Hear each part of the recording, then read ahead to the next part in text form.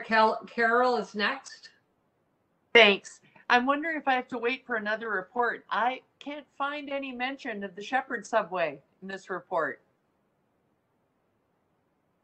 Is by the motion that I moved a few months ago, is that going to come back in the form of another report? It, it appears nowhere in, in the priorities here. So have we made no progress with the province in making it a priority?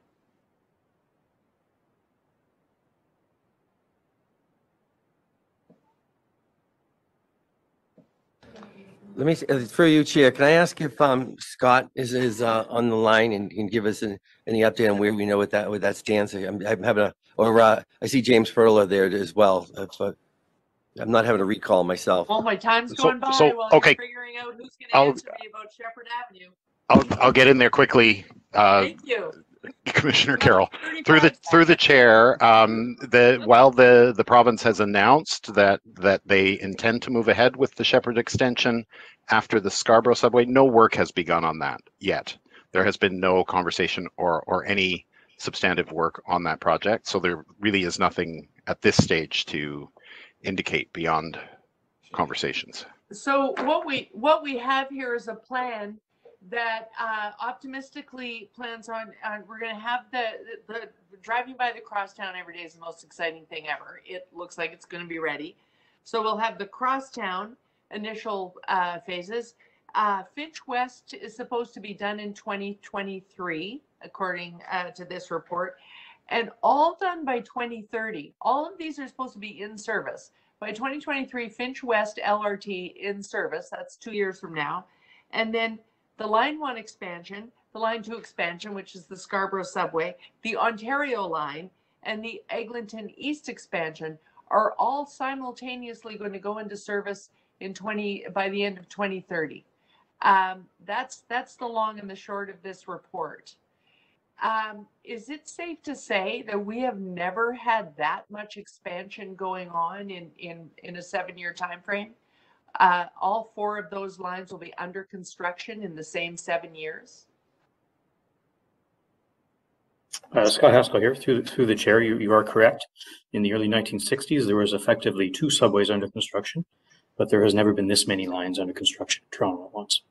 So we're looking at if we can do this, if we can get all the shovels in the ground, we're going to have more subway construction going on in the city than we have ever had before. So while there hasn't been a report back on my motion, can I assume that that it really isn't going to be possible to start work on the Sheppard subway until 2030?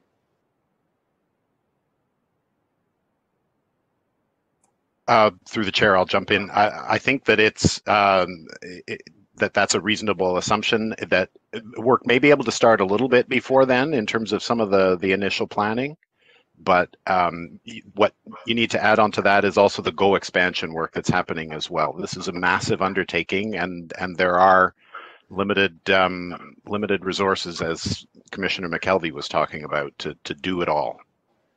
Right. So this report really tells me that I that I have to accept that, and I and I do. Uh, but my but it's hard for my community to accept that since they have um, either either already built or or to be built within the next five years more population density on any of the lines in this report. There more 33 and 40 story buildings than any of these lines will will will exist uh, along Sheppard Avenue by the time all of these lines are are done. Um, and so it this is tough for the community to swallow, all the way out to Kennedy. As far as Kennedy in, in New Councillor Mantas's ward, uh, this much density is being built.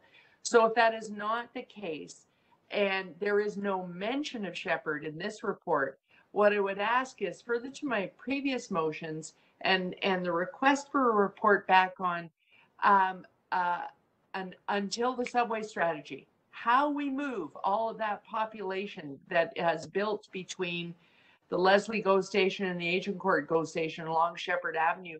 When might I expect that report and from whom shall I expect that report?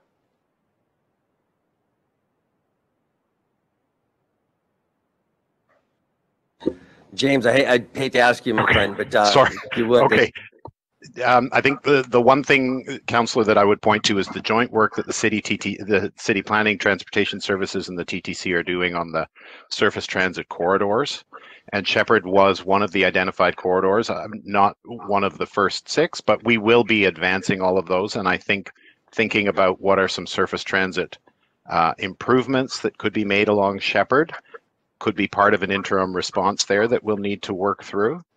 Um, So I So- moved so I that think- as a motion, both in Yeah. the city and the TTC, all, Yes. a little less than twelve months, so, so soon the twelve month uh, timeline will be there.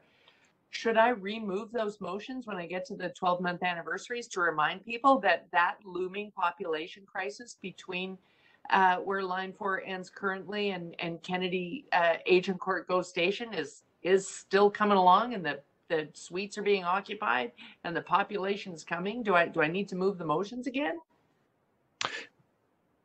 Through the chair, Commissioner. Oh. Oh, sorry, Rick.